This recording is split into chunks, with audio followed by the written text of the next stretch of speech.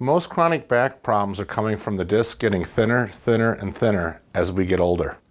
All we have to do is put the patient on the table and decompress them.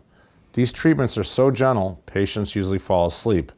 They don't have to go through the dangerous, painful, invasive procedures and drugs. If you have an MRI scan, we can look at it and tell you if we can help you.